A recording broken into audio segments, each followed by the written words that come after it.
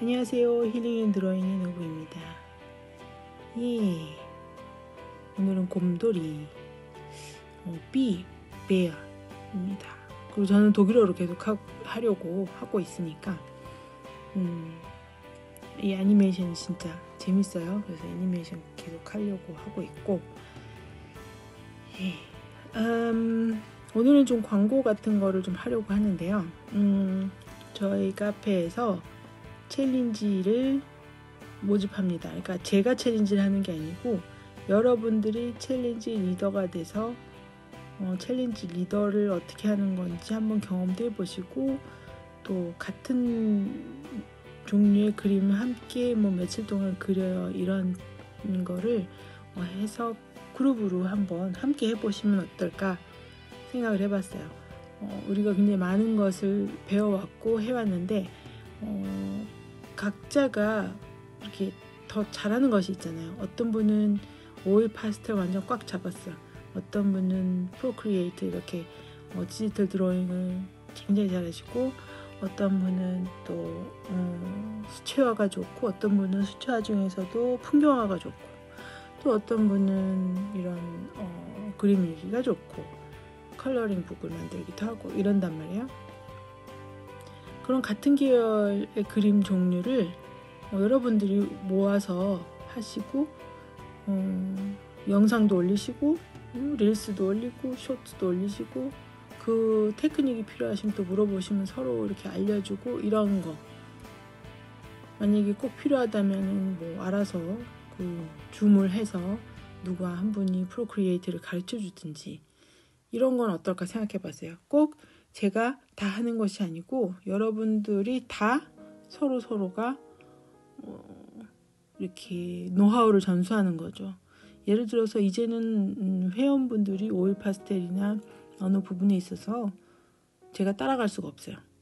음, 어떤 분은 색연필 막 하시는데 일단 저는 여러 가지를 하기 때문에 한 가지를 파고 있지 않기 때문에 예, 이렇게 다 할 수는 없는 거죠. 근데 그분은 어떤 분은 색연필만 계속 하시니까 늘 수밖에 없어요. 그거는 그거는 그 시간은 제가 따라갈 수가 없는 거죠. 이제 벌써 그런 시기가 왔습니다. 어, 너무 놀랐고 음, 제가 이것만 かわいい 뭐 귀여운 그 이것만 하고 있으면 다른 분들은 어, 좀 어, 같이 하는 느낌이 안 들잖아요. 그럼에도 불구하고 비슷한 종류의 그림을 그리는 분들이 많거든요. 그분들이 모이는 거죠. 그래서 지역방이 아니고 그거를 제가 한번 바꿀게요. 오늘은 healing and drawing 좀 음, 광고하는 것처럼 앞부분에 좀 그렇게 됐는데 방법이 없어요. 이렇게밖에 이렇게 전달을 할 수밖에 없고 예, 오늘은 그 한우물에 대해서 좀 얘기를 하고 싶은데 음, 어떨지 모르겠어요. 우리가 보통 말하기를 한우물을 파야 한다 얘기하고 저도 그런 얘기를 가끔 했었죠. 그림을 어, 그거로 성공하려면 그거 한 가지만 하고 장창해야 된다. 보통 이렇게 쭉 뭐 food 일러스트면 food 일러스트 무슨 뭐 그림 얘기면 그림 얘기 이렇게 한쪽으로 쭉 인스타에 올리시면 이제 책 내자는 얘기가 나오고 강의해 달라는 얘기 나오고 어, 공방도 열고 이렇게 돼요. 6개월에서 못해도 어, 6개월 이상은 해야죠. 3년 정도 해야 뭐가 뽀다기가 나오고 보이죠. 꾸준히 그 방향을 잡으시라고 제가 여러 가지로 이렇게 오늘 어, 어, 시도를 해본 건데 그렇긴 한데 그림에서 한 가지를 잡고 이렇게 쭉 간다 이것도 괜찮은데 저처럼 그걸 못하는 사람도 있어요. 안 돼. 안 되는 건 안 되는겨. 또 그림만 그리나요? 난 이것도 좋고 저것도 좋아. 근데 한국말에 한우물을 파야 된다는 말이 있단 말이에요. 정말 그런 걸까? 정말 한우를 한 우물만 파야 되는 걸까? 이거 제 얘기예요. 제가 어, 그런 얘기를 많이 들었고 막 생각할수록 어, 내가 그래서 그런가 막 어, 이제는 그런 생각도 들고 그랬는데 음, 그렇게 살 수 없었던 저였고 시간 지난 지금 보면 음, 좀 다르게 해석을 하게 되더라고요. 우물을 아무리 파도요. 물이 없는 데에서 파면 물 안 나오죠? 당연한 말. 물이 있는 데서 막 열심히 파요. 근데 그 물이 고여 있는 데 우물을 판 건가요? 아니요. 여러 갈래에서 흘러 들어오는 물이 모이는 곳이 우물입니다. 갈래에서만 들어오면은 많은 우물이 깨끗한 물이 생길 수가 없어요. 여러 갈래에서 쫙 모이게끔 우물을 물을 만드는 거죠. 갈래가 물길이 많을수록 우물이 더 빨리 차오르겠죠. 무슨 얘기인지 아시겠어요? 다른 말로 요즘 파이프라인을 만들어라. 뭐 여러 가지 파이프라인을 만들어서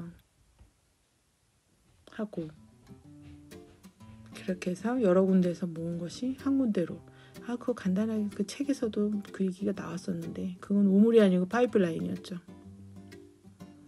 우린 우물 얘기하니까 그 얘기를 지금 꺼낸 거예요.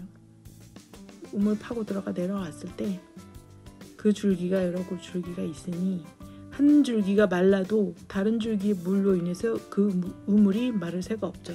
전 모든 그 물줄기가 마르기 전에는 그러면 다시 물을게요. 한 우물을 파야 되나요?